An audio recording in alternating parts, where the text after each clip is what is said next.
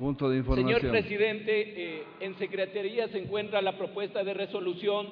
Si hay en este caso alguna observación o haya presentado los bloques legislativos o los asambleístas, yo solicitaría se dé lectura y creo que está en términos generales y si hay observaciones se pueda básicamente someter a lo mejor a una consideración para que esto pueda ser definitivamente ya absuelto como eh, conforme está en la agenda del orden del día, señor presidente.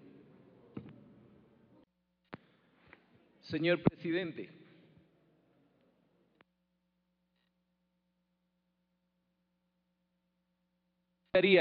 como no soy el proponente, sino el general Moncayo, yo aceptaría el pedido del asambleísta Rodríguez eh, si tiene a lo mejor otro texto alternativo para que sea planteado y aceptado por el ponente. Yo he hecho la ponencia de lo que yo considero. Entonces, sí eh, solicitaría, señor presidente, poner a su consideración, pasar, suspender este punto y pasar al siguiente punto del orden del día.